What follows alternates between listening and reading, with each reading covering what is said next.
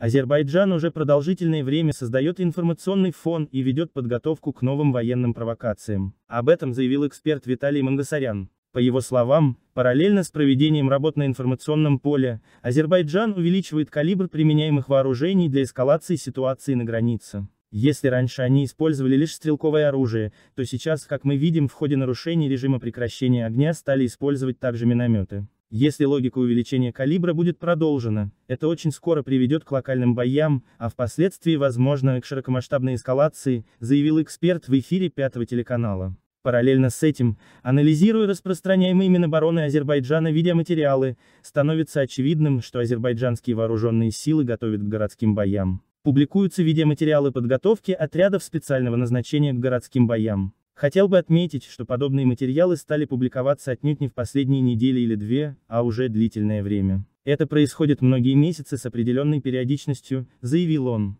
Естественно, продолжил Мангасарян, публикация подобных видеоматериалов является определенным месседжем, направленным армянской стороне. Они пытаются показать, будто они являются хозяевами положения и в случае необходимости готовы вести городские бои, заявил он. Говоря о том, где конкретно могут быть применены эти навыки, Мангасарян отметил, что в первую очередь это коснется Арцаха, однако с учетом близости нахождения азербайджанских вооруженных сил населенным пунктом Армении, эти действия могут также затронуть и территорию самой Армении. Эксперт отметил, что сейчас Азербайджан прощупывает обстановку, пытается понять реакцию международного сообщества, ведет активную дипломатическую работу, стремясь заручиться поддержкой ряда стран и получить гарантии, что сможет переварить эту агрессию. Как только будет создан благоприятный информационный и политический фон, Азербайджан долго раздумывать не станет и нанесет удар в первую очередь в том направлении, куда ему будет на этот момент. Удобно,